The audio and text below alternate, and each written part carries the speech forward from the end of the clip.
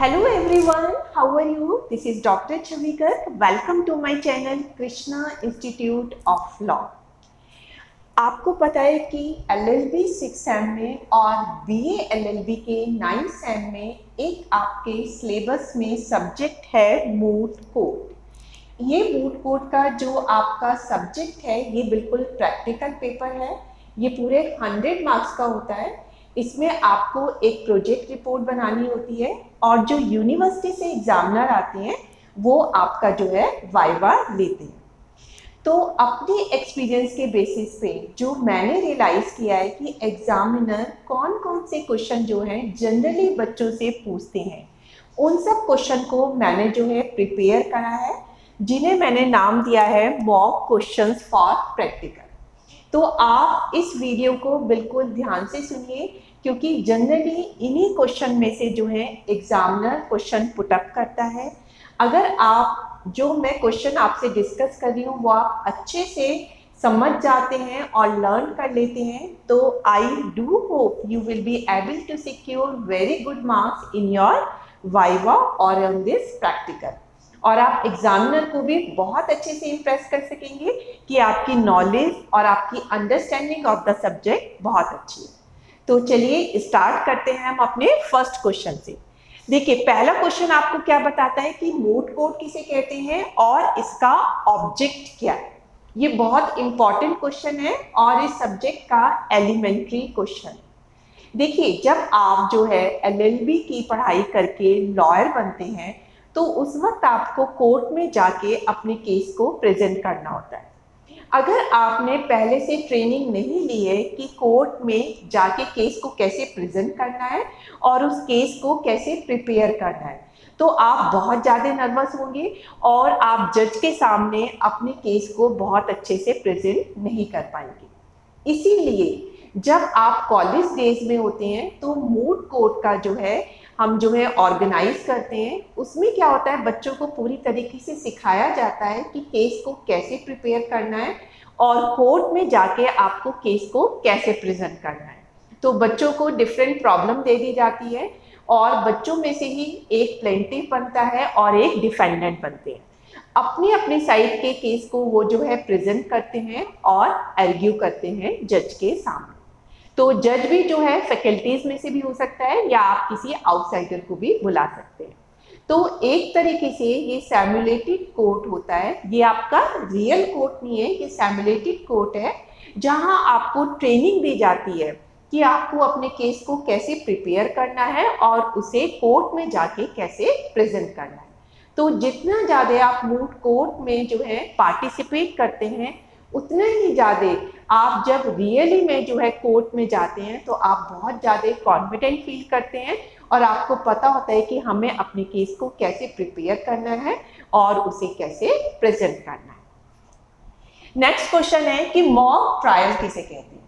देखिए mock trial का मतलब होता है कि जब आप एक्चुअली में रियल कोर्ट में जा रहे हैं तो जब भी आप जाते हैं तो एक तरीके से अगर आप बहुत ज़्यादा कॉन्फिडेंटली अपने केस को प्रेजेंट करना चाहते हैं तो पहले आपको उस केस की रिहर्सल जो है, घर पे कर लेनी चाहिए। तो ये जो आप रिहर्सल कर रहे हैं, अपने घर में उस केस की जो कि आपको प्रेजेंट करना है तो इसे हम बोलते हैं मॉक ट्रायल अब जैसे आपका वाइवा वोसी आपके यूनिवर्सिटी के एग्जामिनर लेंगे लेकिन उससे पहले ही मैं आपको वाइवा की प्रैक्टिस करवा रही हूँ, रिहर्सल करवा रही हूँ। तो मेरे क्वेश्चन का नाम क्या है? Mock question from practical. इसी तरह से मॉक ट्रायल होता है कि जब आप घर में रह के जो है उसकी प्रैक्टिस करते हैं कि मुझे केस को कैसे प्रेजेंट करना है। तो उसको आप बोलते हैं मॉक ट्रायल। अब नेक्स्ट क्वेश्चन आता है कि मूड कोर्ट और कोर्ट में क्या डिफरेंस है? अब आपको पता चल गया होगा, मैंने मूड कोर्ट का जब इंट्रोडक्शन दिया कि कोर्ट तो रियल कोर्ट होते हैं। कि जैसे आपने देखा होगा, आपके रिलेटिव या नोन के जो केस लगे भी होते हैं तो आप कोर्ट में जाते हैं तो वो तो आपके रियल कोर्ट हो गए। जो एक्चुअली में जजमेंट पास करते हैं, जहाँ पे फुल फ्लैज एडवोकेट ही जो है, जो आपकी काउंसिल होते हैं, वो केस को प्रेजेंट करते हैं। लेकिन मूड कोर्ट क्या है? मूड कोर्ट तो सिर्फ़ एक सैमुलेटेड कोर्ट है, जो आपने खुद ही बनाया हुई है जिसमें आप बच्चों को ट्रेनिंग दे रहे हैं कि किस तरीके से केस को प्रिपेयर करना है और किस तरह से केस को प्रेजेंट करना है। तो ये डिफरेंस होता है आपका मूड कोर्ट में और कोर्ट में। अब नेक्स्ट क्वेश्चन है कि साइटेशन किसे कहते हैं?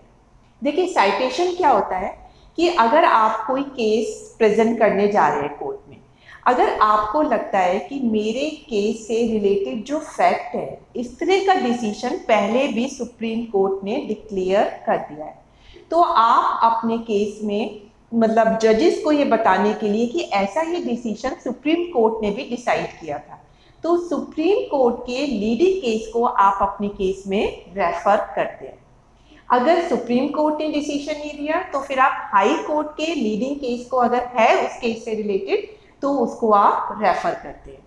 तो इस तरीके से हम देखते हैं कि जब आप सुप्रीम कोर्ट के या हाई कोर्ट के लीडिंग डिसीज़न को अपने केस में रेफर करते हैं तो इसी रेफर करने को जो है साइटेशन कहते हैं। क्लियर हो गया साइटेशन किसे कहते हैं? अब नेक्स्ट है आपका कि जो अपील होती है क्या ये मूड के, के जो केसेस होते हैं उनके अंगेज जो है अपील जा सकती है? तो आप बताइए अपने कॉमन सेंस से कि अगर हम मोट कोर्ट की प्रैक्टिस अपने कॉलेज में कर रहे हैं तो उस केस की क्या हम अपील कर सकते हैं रियल कोर्ट में? तो आपको भी पता ही है कि जो मूड कोर्ट है, वो तो सैमुलेटेड कोर्ट है, वो रियल कोर्ट नहीं है। तो जो आपके केसेस है मूड कोर्ट के, उनकी अपील नहीं हो सकती। क्योंकि अपील करना तो जो प्लेंटिफ है या डिफेंडेंट है, उसका स्टैचुरी राइट है। और मूड कोर्ट तो आपका रियल कोर्ट है नहीं तो इसलिए मूड कोर्ट के डिसीज़न की कभी भी अपील नहीं हो सकती। अब नेक्स्ट स्लाइड में मैं आपको बताऊँगी नेक्स्ट क्वेश्चन इसका फिफ्थ का स्लाइड चेंज नेक्स्ट है आपका, what do you know about the hierarchy of court under judicial system of India? देखिए, ये बहुत इंपॉर्टेंट के आपका जो क्वेश्चन है और इससे रिलेटेड जो है एग्जामिनर जनरली क्वेश्चन पूछते हैं कि हायरकी ऑफ़ द कोर्ट क्या होती है? देखिए हायरकी में दो तरह के आपके केसेस हो जाते हैं, एक तो सिविल नेचर के और एक आपके क्रिमिनल नेचर के। अगर हम सिविल केसेस की बात करें तो मैं उसकी हायरकी बता देती हूँ। सबसे पहले जो आपका लोअर्स कोर्ट होते हैं, उसमें आता है कोर्ट ऑफ़ सिविल जज जूनियर डिवीज़न। फिर आता है आपका कोर्ट ऑफ़ सिविल जज सीनियर डिवीज़न। उसके बाद आता है आपका डिस्ट्रिक्ट कोर्ट। फिर आता है आपका हाई कोर्ट। उसके बाद आता है आपका सुप्रीम कोर्ट। तो ये डिवीज़न आपके चलते हैं। पहला कौन सा हुआ? Court of civil court. इसमें दो डिवीज़न होते हैं। जूनियर डिवीज़न और सीनियर डिवीज़न फिर आपका डिस्ट्रिक्ट कोर्ट फिर आपका हाई कोर्ट और उसके बाद आपका आता है सुप्रीम कोर्ट अगर हम क्रिमिनल केसेस की बात करें तो सबसे पहले जो है मजिस्ट्रेट कोर्ट आते हैं, उसके बाद सेशन कोर्ट आता है, फिर आपका जो है हाई कोर्ट आता है और उसके बाद आपका सुप्रीम कोर्ट आता है. अब आप बिना किसी हेसिटेशन के आराम से जो हायरकी ऑफ़ कोर्ट है, वो बता सकते हैं. नेक्स्ट है आपका प्लेन के एसेंशियल पार्ट कौन कौन से होते हैं? देखिए, सबसे पहले तो आपको ये समझना पड़ेगा प्लेन किसे कहते हैं? ठीक है? तो कोर्ट में आपकी दो पार्टी होती है। एक प्लेंटिफ होता है और एक आपका डिफेंडेंट होता है।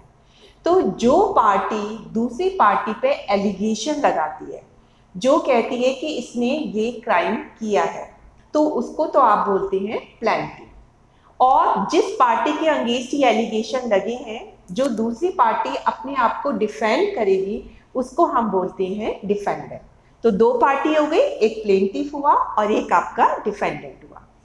तो प्लेंटिफ जो है, सबसे पहले जब वो केस की शुरुआत करता है तो उसे कोर्ट में प्लेंट देना पड़ता है. प्लेंट क्या होता है? एक रिटिन डॉक्यूमेंट होता है इस रिटिन डॉक्यूमेंट में आपने क्या क्या दूसरे पर्सन पे एलिगेशन लगा रहे हैं? क्या आपके कॉज ऑफ़ एक्शन है? ये सब चीज़ें आप लिखते हैं। तो ये जो स्टार्टिंग में रिटिन डॉक्यूमेंट प्लेन कोर्ट में दाखिल करता है, उसी को आप प्लेंट कहते हैं। अब ये जो प्लेंट होता है, उसके कुछ एसेंशियल पार्ट होते हैं। पूरी प्लेंट को हम जो है फोर पार्ट्स में डिवाइड करते हैं। सबसे पहला पार्ट कौन सा होता है? हेडिंग एंड टाइटल बहुत इंपॉर्टेंट है, इसलिए आराम से सुनिए। सबसे पहला पार्ट क्या है आपका? हेडिंग एंड टाइटल दूसरा आपका क्या होता है? बॉडी ऑफ़ पार्ट और थर्ड क्या होता है? आपने कौन कौन सी रिलीफ क्लेम करी है? और इसका लास्ट पार्ट कहता है आपका वेरिफिकेशन तो कौन कौन से चार पार्ट हो गए? सबसे पहले हेडिंग एंड टाइटल उसके बाद बॉडी ऑफ़ द प्लेन उसके बाद आपका रिलीफ आता है, और फोर्थ आता है आपका वेरिफिकेशन अब कभी कभी एग्जामिनर ये भी पूछ लेता है कि हेडिंग में क्या क्या चीज़ें आती हैं। देखिए, जो हेडिंग होती है तो जिस कोर्ट में आप केस फ़ाइल कर रहे हो, जो कॉम्पिटेंट कोर्ट होता है, उसका नाम आता है सूट नंबर आता है, फिर name description and residential address of defendant and plaintiff दोनों के आते हैं। अगर आपका डिफेंडेंट जो है माइनर है या अनसाउंड माइंड का है तो आप एक स्टेटमेंट उस इफ़ेक्ट का भी लगाते हैं। तो ये तो हुआ क्या? हेडिंग में आएगा और टाइटल में आएगा। फिर आता है आपका प्लेन की बॉडी बॉडी में क्या होता है कि जो हम एलिगेशन लगा रहे हैं, उसका एक स्टेटमेंट होता है और उससे रिलेटेड जो भी मेटीरियल फैक्ट होते हैं, उनको हम उसमें मेंशन करते हैं। तो ये थे प्लेन के essential part this is very important question और जनरली आपसे पूछा जाता है। फिर नेक्स्ट है आपका कि रिटिन स्टेटमेंट किसे कहते हैं? देखिए प्लेंटिफ ने तो क्या किया? प्लेन दाखिल करी। अब डिफेंडेंट अपना केस प्रेजेंट करेगा, या तो वो जो है उस केस को, जो भी उस पर एलिगेशन लगाए गए हैं, उन्हें वो एडमिट कर सकता है, या फिर उनका डिनाई कर सकता है। तो जो रिटिन डॉक्यूमेंट डिफेंडेंट पेश करता है इन रिस्पॉन्स टू प्लेन उसी रिटिन डॉक्यूमेंट को हम क्या बोलते हैं? रिटिन स्टेटमेंट तो इससे आपको पता चलता है कि किसी भी केस में दो पार्टी है, एक प्लेंटिव और एक आपका डिफेंडेंट प्लेन प्लेंटिव प्रस्तुत करता है और रिटिन स्टेटमेंट आपका डिफेंडेंट देता है। अब नेक्स्ट है आपका डब्ल्यू एस डब्ल्यू एस का मतलब है रिटिन स्टेटमेंट तो रिटिन स्टेटमेंट के कौन से तीन पार्ट होते हैं? देखिए, सबसे पहला पार्ट इसके तीन पार्ट में सबसे पहला पार्ट है कि उसने एडमिशन किया है या उसने डिनाई किया है। वो आपका मेंशन होता है। उसके बाद एडिशनल प्ली होती है, अगर उसने कोई एडिशनल प्ली ली है। और जो उसका थर्ड एंड लास्ट पार्ट होता है, वो होता है वेरिफिकेशन और उसके सिग्नेचर तो तीनों पार्ट क्लियर हो गए। पहले में एडमिशन एंड डिनायल हो सकता है सेकंड में एडिशनल प्ली हो सकती है, और थर्ड में वेरिफिकेशन और उसके सिग्नेचर आते हैं। अब आपका लास्ट क्वेश्चन क्या कहते हैं? प्लीडिंग किसे कहते हैं? देखिए, मैंने आपको प्लेंट बता दिया, मैंने आपको रिटिन स्टेटमेंट बता दिया। अब ये जो प्लीडिंग है प्लीडिंग जो है, जो केस की दोनों पार्टी होती है प्लेंटिव या डिफेंडेंट दोनों ही पार्टी जो अपने अपने रिटिन डॉक्यूमेंट कोर्ट में पेश करती हैं, उसी को हम प्लीडिंग बोलते हैं। तो इट मीन्स प्लीडिंग में आपका प्लेंट भी आता है और प्लीडिंग में आपका डब्ल्यूएस या रिटिन स्टेटमेंट भी आता है। क्योंकि प्लेंटिफ ने प्लेंट किया वह भी इसके अंदर आएगा और डिफेंडेंट ने रिटिन स्टेटमेंट दिया तो वो भी प्लीडिंग में ही आता है। तो it means pleading include both plaint as well as your written statement अब हमारा नेक्स्ट क्वेश्चन आता है what you mean by amendment of pleading देखिए प्लीडिंग में दोनों चीज़ें आती हैं आपकी प्लेंट भी आता है और आपका रिटर्न स्टेटमेंट भी आता है। लेकिन अगर आपने कोर्ट में एक बार प्लेंट को फ़ाइल कर दिया या रिटर्न स्टेटमेंट को फ़ाइल कर दिया, क्या आप उसे चेंज कर सकते हैं? तो कोर्ट आपको अलाउ करता है कि अगर सफिशियंट रीज़न है तो आप इन प्लीडिंग को चेंज कर सकते हो मॉडिफाई कर सकते हो। तो इसी को हम बोलते हैं amendment of pleading means pleading को एक बार फ़ाइल करके अगर आप उसमें चेंज कर सकते हैं अमेंडमेंट कर सकते हैं so this is called amendment of pleading अब नेक्स्ट आता है आपका what document are file during institution of suit this is also very important question और ये जनरली बच्चे इतने सिंपल क्वेश्चन का बिल्कुल ठीक से आंसर नहीं देते। देखिए, जब इंस्टीट्यूशन ऑफ़ सूट होगा तो इसका मतलब वो सूट की बिल्कुल स्टार्टिंग है। तो सूट की स्टार्टिंग में डब्ल्यू एस जाता है या प्लेन जाता है? अब तो आप बता ही सकते हैं, जब सूट स्टार्ट करते हैं तो वो प्लेन से स्टार्ट होता है। प्लेन के रिस्पॉन्स में फिर रिटर्न स्टेटमेंट आता है। तो प्लेन से स्टार्ट हो रहा है तो प्लेन से जब स्टार्ट होता है तो उसे आप इंस्टीट्यूशन ऑफ़ सूट बोलेंगे। तो उस वक्त क्या क्या चीज़ें जाएगी? सबसे पहले जो प्लेंटिफ है, वो प्लेंट को दाखिल करेगा। बिना प्लेन के तो आपका इंस्टीट्यूशन ऑफ़ सूट भी नहीं होगा।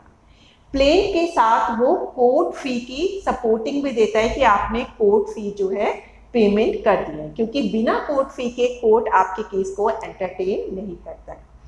और फिर आप काउंसिल का जो है वकालत नामा भी उसमें एनेक्सर की तरह लगाते हो।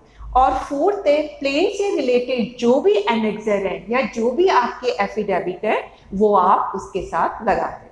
तो इसका मतलब क्या क्या चीज़ें आप डालते हो? प्लेन डालेंगे कोर्ट फ़ी का डॉक्यूमेंट्री एविडेंस डालेंगे काउंसिल का वकालतनामा लगाएँगे और प्लेन से रिलेटेड अगर आपने कोई एनेक्सर लगाए हैं या कोई एफिडेविट दिया है किसी चीज़ को प्रूव करने के लिए तो वो भी सारे डॉक्यूमेंट आप इंस्टीट्यूशन ऑफ़ सूट के टाइम पे भेजते हैं। अब नेक्स्ट क्या होता है? एफिडेविट देखिए एफिडेविट तो आप लोगों ने हर किसी ने सुना है।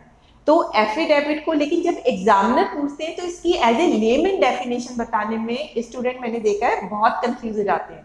उनको रियल मीनिंग पता होता है, लेकिन उसे वो वर्ड में एक्सप्रेस नहीं कर पाते। तो एफिडेविट का सिंपल मीनिंग है कि ये रिटेन डिक्लेरेशन होती है।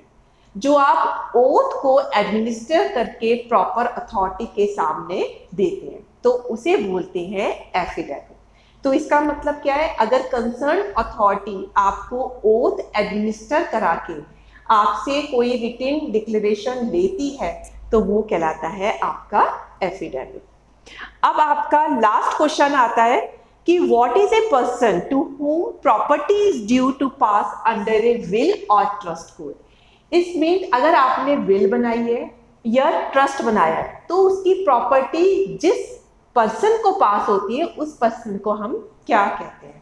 आप लोग बताइए क्या कहते हैं? It is very easy answer you are all correct actually उस पर्सन को हम बोलते हैं बेनिफिशरी तो विल के अंदर जिस पर्सन को प्रॉपर्टी जा रही है, उसे भी हम बेनिफिशरी बोलते हैं। और ट्रस्ट के अंदर जिस पर्सन के बेनिफिट के लिए ट्रस्ट बनाए उसको भी हम बेनिफिशरी बोलते हैं। अब हमारा नेक्स्ट क्वेश्चन कहता है what you mean by decree order and judgment ठीक है, तीन चीज़ों में आपसे पूछा जाता है डिक्री किसे कहते हैं ऑर्डर किसे कहते हैं और जजमेंट किसे कहते हैं।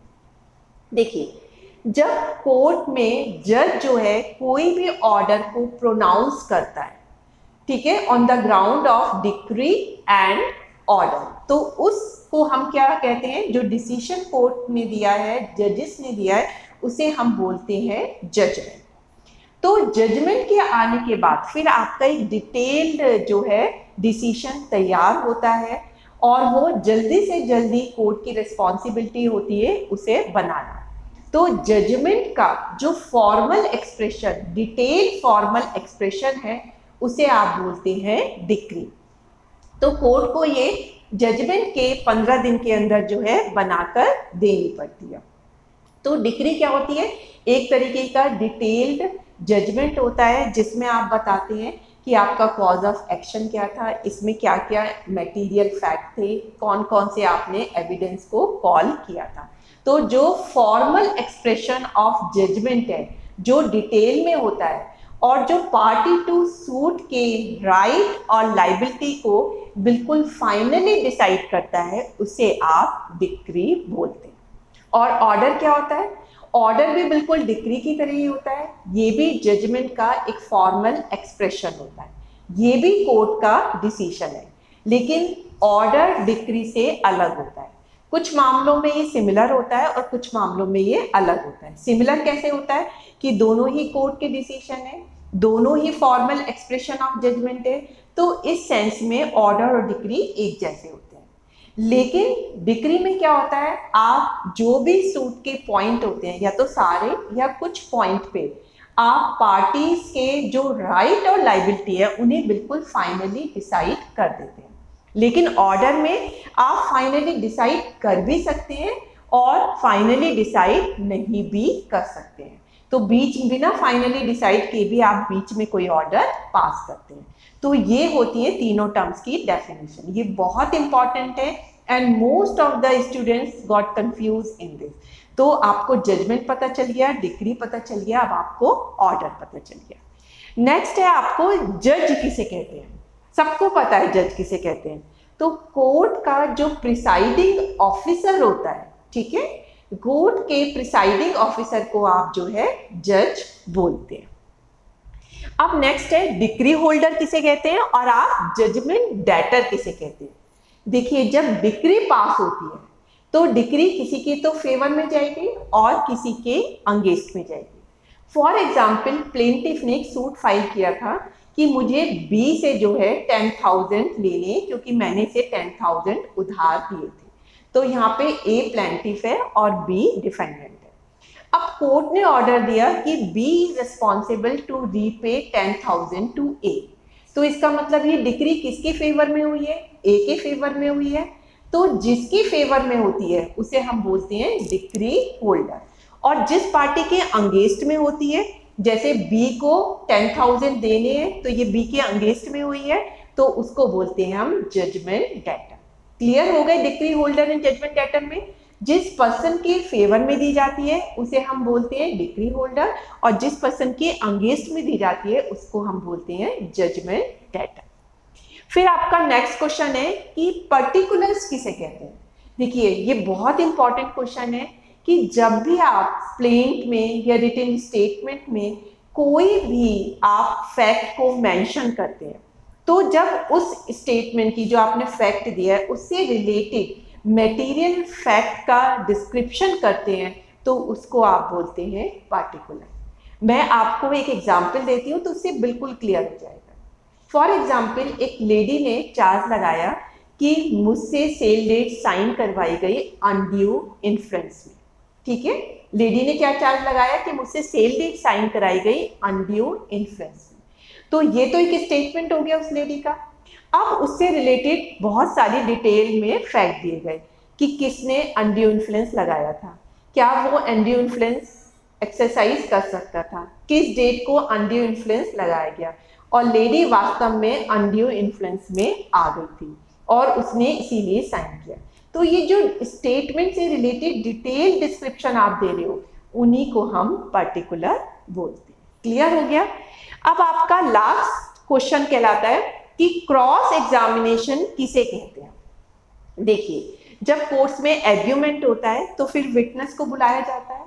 जब विटनेस को बुलाया जाता है तो जो एडवर्स पार्टी है, अगर एडवर्स पार्टी उस विटनेस को जो है एग्जामाइन करती है तो उसको हम बोलते हैं क्रॉस एग्जामिनेशन क्लियर हो गए? तो देखिए, दो पार्टी होती है। तो जो पार्टी अपनी तरफ़ से विटनेस को बुलाती है, ठीक है, वो पार्टी उसको एग्जामाइन ना करके दूसरी पार्टी उसको एग्जामाइन करती है तो उसको हम बोलते हैं क्रॉस एग्जामिनेशन अब हमारा नेक्स्ट क्वेश्चन आता है कि एविडेंस किसे कहते हैं? देखिए एविडेंस तो पता ही आपको कि आपने जो भी कॉज ऑफ़ एक्शन दिया है, जो आपने एलिगेशन लगाए हैं, या डिफेंडेंट ने उसका एडमिशन किया है, या डिनाइल किया है तो अपनी अपनी सपोर्ट में वो जो भी चीज़ को जो है कोर्ट के आगे रख रहे हैं, उसी को हम एविडेंस कहते हैं। एविडेंस ओरल भी हो सकता है एविडेंस डॉक्यूमेंट्री भी हो सकता है। तो दोनों तरह के ही आपके एविडेंस हो सकते हैं। अब नेक्स्ट है what you mean by representative suit देखिए रिप्रेजेंटेटिव नाम से ही लग रहा है। जब आप अपने नाम से सूट फ़ाइल ना करके किसी और के बिहाव पे सूट फ़ाइल करते हो, या अपने आप और किसी और के बिहाव पे दोनों को एक साथ लेके पार्टी बनाते हैं तो उनको बोलते हैं हम रिप्रेजेंटेटिव सूट जैसे माइनर के बिहाव पे गार्जियन ने सूट डाला, या बेनिफिशियरी के बिहाव पे ट्रस्टी ने सूट डाला तो ये वाले सूट क्या कहलाएँगे? ये सूट कहलाएँगे आपके रिप्रेजेंटेटिव सूट अब नेक्स्ट है what do you mean by conveyancing देखिए कन्वेंसिंग किस वर्ड से बना है? कन्वेंसिंग तो कन्वेंस का मीनिंग होता है कि अगर आप प्रॉपर्टी का टाइटल ट्रांसफ़र कर रहे हो तो प्रॉपर्टी के टाइटल को ट्रांसफ़र करने की जो प्रोसेस होती है, उसी को आप कन्वेंसिंग बोलते हैं। ये चीज़ क्लियर हो गई? अब लास्ट में ये बहुत इंपॉर्टेंट आपका क्वेश्चन है ये जनरली आपके थर्ड सेम से लेके सिक्स सेम तक के किसी भी प्रैक्टिकल में एग्जामिनर पूछ लेते हैं कि रिट किसे कहते हैं और ये किसकी अंगेस्ट इशू हो सकती है। तो देखिए रिट क्या होती है? रिट एक तरीके का रिटिन डॉक्यूमेंट है which is sign and which bear the stamp of the court तो रिट क्या हुई? कि ये एक जो है आपका रिटिन डॉक्यूमेंट है, जो साइन बाय द जज होता है और जिसपे कोर्ट की स्टैंप लगती है। इस रिट में आप किसी भी पर्सन को, किसी भी अथॉरिटी को, उस अथॉरिटी में आपके गवर्नमेंट भी हो सकती है। उनको आप ये कमांड करते हैं कि आपको कोई पर्टिकुलर काम करना है या कोई पर्टिकुलर काम नहीं करना है। तो इसको हम बोलते हैं रिट अब रिट के ये भी पूछ लेते हैं, कितने टाइप्स की होती है? आपको पता है फाइव टाइप की रिट होती है। सबसे पहली है आपकी हबीस कॉर्पस सेकंड है आपकी मैंडामस फिर है आपकी प्रोहिबिशन फिर है आपकी सर्शरी और लास्ट में आपकी आती है क्यू वारंट तो कौन कौन सी हो गई? Habeas corpus mandamus prohibition certiorari और लास्ट आपकी हो जाती है क्यू वारंट तो ये आपकी पाँच रेट होती है. अब इसका नेक्स्ट क्वेश्चन क्या आता है? What do mean by res judicata ये बहुत अच्छा क्वेश्चन है कि रेड रेस्ट जुडिकाटा किसे कहते हैं? देखिए, अगर आपने कोई केस डाला, अगर उसी तरीके का केस सेम पार्टी में सेम सब्जेक्ट मैटर के लिए पहले ही डिसाइड हो चुका है तो फिर दूसरे केस को आप अलाउ नहीं करते हैं कि इस पर दोबारा से डिसीज़न दिया जाए। क्योंकि अगर आप अलाउ कर देते हैं तो इस तरीके से लिटिगेशन कभी ख़त्म ही नहीं होगा। तो लिटिगेशन को ख़त्म करने के पॉइंट ऑफ़ व्यू से अगर सेम पार्टी में सेम सब्जेक्ट मैटर पे केस जो है किसी कॉम्पिटेंट कोर्ट ने डिसाइड कर लिया है तो फिर आपको उस केस की प्रोसीडिंग्स नहीं होती। तो इसी प्रिंसिपल को बोलते हैं रेस जुडी काटा अब नेक्स्ट होता है पावर ऑफ़ अटॉर्नी किसे कहते हैं? देखिए, अगर कोई प्रिंसिपल खुद काम ना करके अपने बिहार पे किसी और एजेंट को अपॉइंट करता है काम करने के लिए तो वो उसके फेवर में एक रिटिन डॉक्यूमेंट एक्सिक्यूट करता है, जिसमें वो अपने एजेंट को ये पावर देता है कि वो व्यक्ति मेरे बिहार पे काम कर सकता है। तो इसी को बोलते हैं पावर ऑफ़ अटॉर्नी कि आपने एजेंट को पावर ऑफ़ अटॉर्नी दे दी है कि अब वो मेरे बिहार पे काम कर सकता है। नेक्स्ट है आपका कि स्टेट बार काउंसिल किसे कहते हैं और बार काउंसिल ऑफ़ इंडिया किसे बोलते हैं। आपको पता है कि लॉयर्स के वर्क को रेगुलेट करने के लिए बॉडी है, जिनका नाम है state bar council of India या बीसीआई हर स्टेट की अपनी एक अलग अलग बार काउंसिल होती है, जिसे हम बोलते हैं स्टेट बार काउंसिल और जो पूरी इंडिया के लिए एक बार काउंसिल होती है, उसे हम बोलते हैं बार काउंसिल ऑफ़ इंडिया तो स्टेट वाली को हम बोलेंगे State Bar Council of India और जो सभी स्टेट के लिए, जो पूरी ऑल ओवर इंडिया के लिए होती है, उसे हम बोलते हैं बार काउंसिल ऑफ़ इंडिया अब होता है explain the various jurisdiction of Supreme Court अब हमारा ये लास्ट क्वेश्चन है। इसमें क्या है कि सुप्रीम कोर्ट के वेरियस जुरिडिक्शन बताइए। ये बहुत सिंपल क्वेश्चन है, फिर भी बच्चों को ये नहीं पता होता है। तो सुप्रीम कोर्ट के कौन कौन से ज्यूडिक्शन हो गए? एक तो उसका ओरिजिनल ज्यूडिक्शन होता है, जब आप डायरेक्ट सूट जो है सुप्रीम कोर्ट में फ़ाइल कर सकते हो। दूसरा होता है अपीलेट ज्यूडिक्शन जब आप हाई कोर्ट के केस की अपील जो है सुप्रीम कोर्ट में करते हैं। एक होता है आपका कोर्ट ऑफ़ रिकॉर्ड कि सुप्रीम कोर्ट का कोई भी केस को या उसके किसी भी रिकॉर्ड को आप एक एविडेंस की फॉर्म में पेश कर सकते हैं। तो ये कहलाता है कोर्ट ऑफ़ रिकॉर्ड तो ये होती है सुप्रीम कोर्ट की जुरिडिक्शन अब नेक्स्ट आता है कि प्री ट्रायल प्रिपरेशन किसे कहते हैं? देखिए प्री ट्रायल प्रिपरेशन में क्या है कि अभी आपने केस प्रिपेयर नहीं किया, अब आप केस को प्रिपेयर कर रहे हैं कोर्ट में जाने से पहले। तो उस वक्त ट्रायल तो शुरू नहीं हुआ तो ट्रायल से पहले की जो प्रिपरेशन होती है, उसे कहते हैं प्री ट्रायल प्रिपरेशन तो इसमें क्या करना चाहिए? सबसे पहले तो एडवोकेट को ये देखना चाहिए कि जो क्लाइंट है, वो आपसे किस चीज़ का केस करवाना चाह रहा है। उससे रिलेटेड सारी डिटेल आपको लेनी चाहिए। उससे रिलेटेड सारे डॉक्यूमेंट लेने चाहिए। फिर आपको देखना चाहिए कि ये कौन से सेक्शन में जो है केस आपका जाएगा।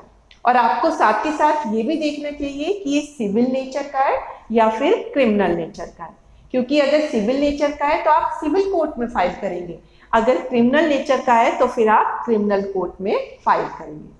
फिर आपको देखना है कि अगर आप कोर्ट में जा रहे हो तो सिविल कोर्ट में भी बहुत सारे कोर्ट होते हैं।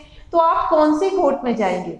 तो आप कॉम्पिटेंट कोर्ट भी देखेंगे, उसके जुडिक्शन भी देखेंगे कि आपका जो केस है, वो कौन से जज की जुडिक्शन में आता है। उसी हिसाब से आप जाइए। फिर आप देखेंगे कि रेजुडिकाटा इस पर अप्लाई भी हो रहा है या नहीं। रेजुडिकाटा का क्या मतलब है कि सेम पार्टी में सेम मैटर पे क्या पहले ये केस डिसाइड हो चुका है या नहीं? अगर हो चुका है तो फिर आप दोबारा से इस मैटर में लिटिगेट नहीं करेंगे। तो आप रेजुडिकाटा का प्रिंसिपल भी देखेंगे। उसके बाद सबसे इंपॉर्टेंट है प्लेंट फिर आप प्लेंट की प्रिपरेशन करोगे। प्लेंट में सबसे ऊपर आप लिखते हैं कौन सी कोर्ट में आप जा रहे हो। उसके बाद आप name address and description of plaintiff and defendant देते हैं। फिर आप जो है उसमें जो आपका स्टेटमेंट है, जो आपने एलिगेशन लगाए हैं, वो बताते हैं। फिर आप रिलीफ क्या मांग रहे हैं, उसके बाद उसको वेरीफाई करते हैं। तो आपका प्लेन बन जाता है। तो ये सारी तैयारी आप प्री ट्रायल प्रिपरेशन में करते हैं। अब नेक्स्ट आता है आपका कि सिविल मैटर किसे कहते हैं। देखिए, आपके मैटर सिविल मैटर होगा, तभी वो सिविल कोर्ट में जाएगा। अगर क्रिमिनल मैटर है तो वो आपका क्रिमिनल कोर्ट में जाता है। तो जैसे आपका मर्डर हो गया थेफ्ट हो गया, या अबेटमेंट टू सुसाइड हो गया तो ये सब क्या है? ये आईपीसी से कंट्रोल होते हैं। तो इसीलिए ये सारे आपके क्रिमिनल मैटर हैं।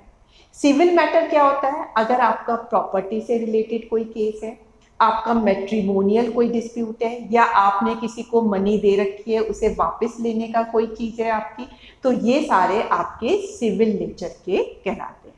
तो डिफरेंस क्लियर हो गया कि सिविल नेचर के कौन कौन से केस होते हैं और क्रिमिनल नेचर के कौन कौन से केस होते हैं। फिर आपका आता है कि सूट किसे कहते हैं। देखिए सूट को जो है सीपीसी में कहीं भी डिफाइन नहीं किया गया है। लेकिन इसका एक लेमन जो मीनिंग होता है, वो ये होता है कि जब प्लेंटिव प्लेंट को कोर्ट में प्रस्तुत करता है, उसके बाद जो प्रोसीडिंग्स स्टार्ट होती है तो उसको बोलते हो आप सूट तो प्लेन को कोर्ट में जब आप फ़ाइल कर देते हो उसकी बेसिस पे प्रोसीडिंग्स आपकी स्टार्ट होती है तो उसको हम बोलते हैं कि इसे हम सूट कहते हैं। फिर नेक्स्ट क्वेश्चन है कि समन किसे कहते हैं?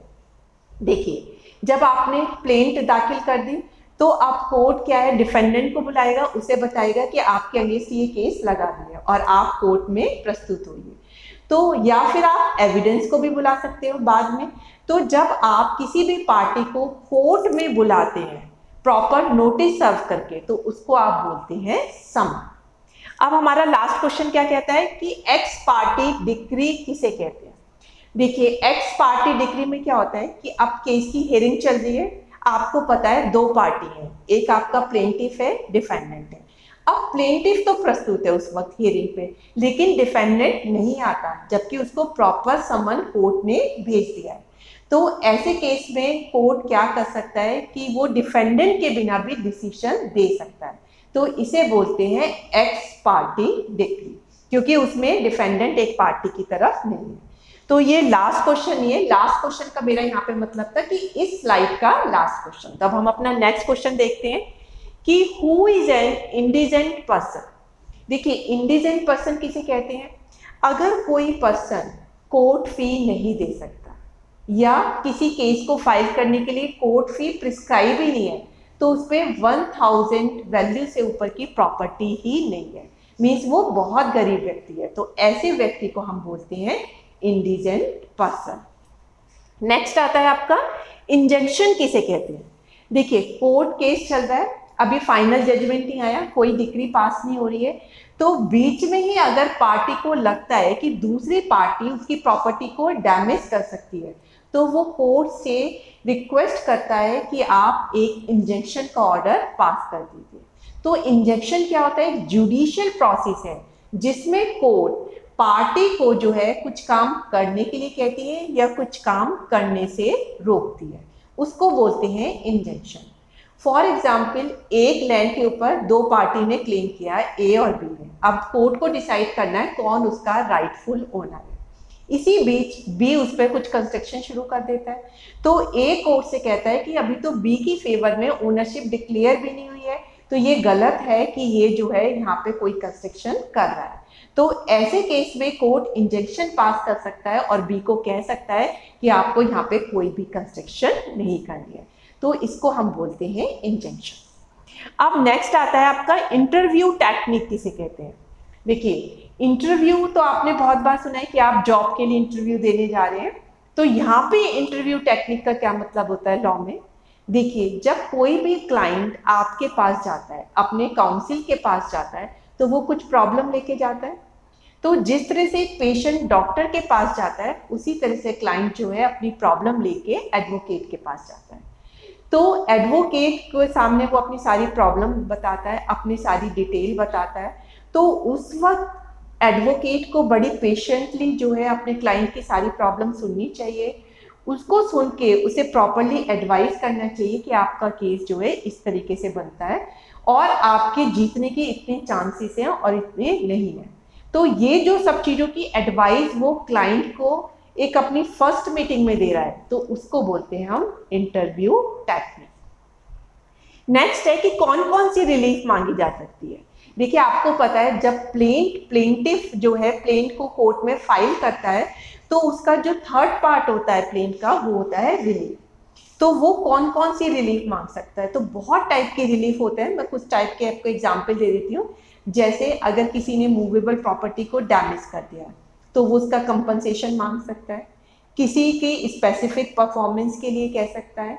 या इमूवेबल प्रॉपर्टी के पोजेशन के लिए कह सकता है, या इंजंक्शन पास करवाने के लिए कह सकता है, या जो उसने मनी दे रखी थी, उसको लेने के लिए केस कर सकता है। तो ये सब चीज़ें किसमें आती है? रिलीफ तो कोर्ट से वो जो भी रेमेडी माँगता है, उसी को आप रिलीफ कहते हो, और ये बहुत टाइप की हो सकती है। अब लास्ट है आपका मतलब इस स्लाइड का लास्ट क्वेश्चन है। कि डिफेमेशन सिविल नेचर का है या क्रिमिनल नेचर का है? देखिए, आप ध्यान रखिए, जो डिफेमेशन होता है, वो दोनों ही तरह का हो सकता है। क्रिमिनल नेचर का भी हो सकता है और वो आपका सिविल नेचर का भी हो सकता है। तो डिफेमेशन दोनों टाइप का होता है, सिविल का भी और क्रिमिनल नेचर का भी। अब नेक्स्ट है ये आपका एक तरीके से समझ लीजिए, बिल्कुल जनरल क्वेश्चन है। बच्चे इसमें भी बहुत कंफ्यूज हो जाते हैं which is law making body आपको पता है, हमारे यहाँ पे थ्री गवर्नमेंट के ऑर्गन होते हैं। एक लेजिस्लेचर दूसरा एक्सिक्यूटिव और तीसरा जुडिशरी तो लॉ मेकिंग किसका काम होता है? वो लेजिस्लेचर का वर्क होता है। तो लॉ मेकिंग बॉडी कौन सी हो गई? आपकी लेजिस्लेचर और फ़र्स्ट लॉ ऑफिसर किसे कहते हैं गवर्नमेंट ऑफ़ इंडिया का? तो फ़र्स्ट लॉ ऑफिसर होता है आपका अटॉर्नी जनरल ऑफ़ इंडिया तो फ़र्स्ट लॉ ऑफिसर किसे बोलते हैं? अटॉर्नी जनरल ऑफ़ इंडिया को। अब नेक्स्ट क्वेश्चन है who is in India is not answerable to any court of law for the exercise of power and duty of his office मतलब अगर वो अपने ऑफ़िस की ड्यूटी को परफॉर्म कर रहा है तो उस ड्यूटी को परफॉर्म करने से रिलेटेड किसी भी काम में वो कोर्ट के लिए रिस्पॉन्सिबल या अकाउंटेबल नहीं होता है। तो वो कौन होता है आपका प्रेसिडेंट तो इसका आंसर क्या होगा आपका? प्रेसिडेंट अब इस स्लाइड का लास्ट क्वेश्चन है कि जो इंडियन लॉयर्स हैं, वो बैंड क्यों पहनते हैं? आपने देखा होगा वो टाई नहीं लगाते, वो लंबा सा बैंड लगाते हैं। तो इसका क्वेश्चन यही है कि ब्रिटिशर्स हमारे उसमें आए थे कंट्री में तो ब्रिटिशर में जो बैंड होता है, वो बहुत ही फॉर्मल जो आपकी यूनिफॉर्म होता है, उसका एक्सप्रेशन होता है। तो लॉयर्स जब अपने केस को प्रेजेंट करते हैं तो वो बहुत ही फॉर्मल स्टेट में होते हैं। इसीलिए वो टाई को न लगा के बैंड को प्रिफर करते हैं। तो ये ट्रेडिशन चल पड़ा था तभी से तो वो आज तक फॉलो हो रहा है, क्योंकि हम बैंड को टाई की तुलना में ज़्यादा फॉर्मल एक्सप्रेशन मानते हैं। अब हमारा नेक्स्ट है कि डिस्टिंग्विश करिए। ये आपकी लास्ट स्लाइड है कि डिग्री एंड ऑर्डर किसे कहते हैं। ये मैंने आपको पहले क्वेश्चन में भी बता दिया था। डिग्री क्या है? जजमेंट का फॉर्मल एक्सप्रेशन है। और ये पार्टीज़ की राइट और ड्यूटीज़ को बिल्कुल कंक्लूसिवली जो है डिटरमाइन कर देता है। और ऑर्डर कंक्लूसिवली डिटरमाइन कर भी सकता है और नहीं भी कर सकता। तो डिग्री एंड ऑर्डर दोनों बिल्कुल अलग अलग होते हैं। फिर है आपका डिक्री एंड जजमेंट ये भी मैं बता चुकी हूँ। जो कोर्ट में जज प्रोनाउंस करता है अपने डिसीज़न उसे जजमेंट कहते हैं। और जजमेंट का जो डिटेल फॉर्मल एक्सप्रेशन होता है, उसे आप डिक्री बोलते हैं। फिर आपका रिवीजन एंड अपील देखिए अपील क्या होता है? ये किसी भी पार्टी का स्टैचुरी राइट है। अगर कोई भी पार्टी जिसने केस फ़ाइल किया, वो उस कोर्ट के इंफीरियर कोर्ट के ऑर्डर से सेटिस्फाई नहीं है तो ये उसका स्टैचुरी राइट है कि वो हायर कोर्ट को जो है, अपने केस की अपील कर सकती है। तो जो हायर कोर्ट है, वो उसका जुडिशल एग्जामिनेशन करता है तो इसी को हम बोलते हैं अपील और रिवीजन किसे कहते हैं? रिवीजन में होता है कि हाई कोर्ट ये अधिकार सिर्फ़ हाई कोर्ट का है कि अगर उसकी सबॉर्डिनेट कोर्ट ने जुडिक्शन में ना रह के डिसीज़न दिया है या जुडिक्शन में दिया है, लेकिन इलीगली दिया है तो वो उस केस को अपने यहाँ ट्रांसफ़र करके रिवीजन कर सकता है। तो इसको बोलते हैं रिवीजन तो अपील और रिवीजन में अब आपको डिफरेंस क्लियर हो गया होगा। नेक्स्ट है डिवोर्स एंड सेपरेशन में क्या डिफरेंस होता है? देखिए लीगली जब हस्बैंड वाइफ दोनों स्पाउस एक दूसरे से अलग हो जाता है, अब कोर्ट का जजमेंट आ चुका है कि वो लीगली सेपरेट हो चुके हैं तो उसे बोलते हैं डिवोर्स लेकिन सेपरेशन में क्या होता है कि डिवोर्स से पहले छः महीने कोर्ट कहते हैं कि आप सेपरेट रह के देखिए। अगर आपको लगता है कि हम कॉम्प्रोमाइज़ कर सकते हैं तो आप कॉम्प्रोमाइज़ कर सकते हैं, नहीं तो फिर आप डिवोर्स ले सकते हैं। तो उसको बोलते हैं हम सेपरेशन अभी जजमेंट इस फेवर में नहीं आया कि आप जो है डिवोर्स ले चुके हैं। तो डिवोर्स से पहले की जो सिचुएशन होती है, वो आपकी सेपरेशन होती है। फिर ये बहुत इंपॉर्टेंट क्वेश्चन है मजिस्ट्रेट एंड डिस्ट्रिक्ट जज देखिए, जो सेशन कोर्ट होता है, उनके जज को हम मजिस्ट्रेट बोलते हैं, जो कि आपकी क्या होते हैं क्रिमिनल मैटर की सुनवाई करते हैं। और जो डिस्ट्रिक्ट जज या उनसे ऊपर के जज के होते हैं, उन्हें हम जज बोलते हैं। तो ये डिफरेंस है आपका डिस्ट्रिक्ट जज और मजिस्ट्रेट में। मीन सेशन कोर्ट के जो जज होते हैं, उन्हें मजिस्ट्रेट बोलते हो और डिस्ट्रिक्ट कोर्ट के जो प्रिसाइडिंग ऑफिसर होता है, उसे आप डिस्ट्रिक्ट जज बोलते हो। फिर आपका गिफ्ट एंड विल में क्या डिफरेंस होता है? ये वैसे नॉर्मली आप सब लोग बता सकते हो। गिफ्ट में क्या होता है कि आप वॉलेंट्री और बिना किसी कंसिडरेशन के अपनी कोई चीज़ दूसरे व्यक्ति को देते हैं। जो व्यक्ति गिफ्ट देता है, उसे डोनर बोलते हैं और जो व्यक्ति गिफ्ट को एक्सेप्ट करता है, उसे डोनी बोलते हैं। ये वॉलेंट्री होता है और बिना किसी कंसिडरेशन के होता है। विल क्या होती है? विल में जो डाइंग पर्सन होता है, वो एक रिटेन डॉक्यूमेंट को लिखता है कि मेरे मरने के बाद मेरी प्रॉपर्टी इस इस व्यक्ति को दे दी जाए। तो वो मरने के बाद ही जो है उन व्यक्तियों को मिलती है। जबकि गिफ्ट में उसके लाइफ टाइम पे ही वो गिफ्ट हो जाता है।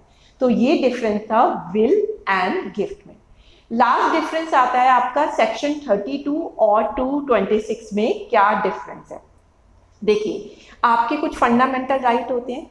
कॉन्स्टिट्यूशन है आपके सिक्स फंडामेंटल राइट दिए तो अगर कोई भी इन राइट्स को वॉयलेट कर सक, करता है, इसमें गवर्नमेंट भी वॉयलेट कर सकती है तो हर सिटीजन को ये आपका राइट है कि वो इसकी रेमेडी के लिए सुप्रीम कोर्ट या हाई कोर्ट में जा सकते हैं।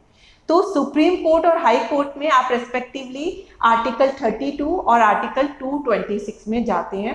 तो उन फंडामेंटल राइट के वॉयलेशन को रोकने के लिए आर्टिकल 32 और आर्टिकल 226 में कोर्ट जो है supreme court, high court different writ issue करते हैं। तो ये कहलाता है डिफरेंस बिटवीन 32 एंड 226 में। तो आई होप कि मैंने बहुत सारे क्वेश्चन जो नॉर्मली एग्जामिनर पूछते हैं, वो आपको क्लियर कर दिए अगर आप इन क्वेश्चन की प्रैक्टिस कर देते हैं तो एग्जामिनर आपसे काफ़ी इंप्रेस हो जाएगा। उसको लगेगा कि बच्चों ने बहुत अच्छे से स्टडी की है और उन्हें क्वाइट अंडरस्टैंडिंग है। और वैसे भी ये बहुत जनरल टर्म्स है, जो लॉ के स्टूडेंट को ज़रूर पता होनी चाहिए और बिल्कुल क्लियरली पता होनी चाहिए कि कोई भी आपसे कभी डिस्कशन में पूछे तो आप बता सकें। तो आई होप कि आपको ये लेक्चर मेरा पसंद आया होगा and I do hope it will be very very beneficial to you so that's all for today lecture thank you very much.